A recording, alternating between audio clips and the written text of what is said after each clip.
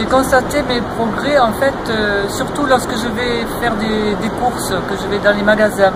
Je peux m'exprimer beaucoup plus facilement et c'est très agréable d'être compris. C'est plus facile euh, quand euh, on comprend et quand on est compris. Donc pour moi c'est indispensable de progresser en hébreu. Mon expérience est excellente puisque ça fait la troisième fois déjà que je suis que je viens et euh, je trouve les cours euh, très intéressants par des professeurs très patients, euh, très précis dans leur enseignement, très libres en même temps. Nous pouvons poser des questions jusqu'à ce qu'on comprenne.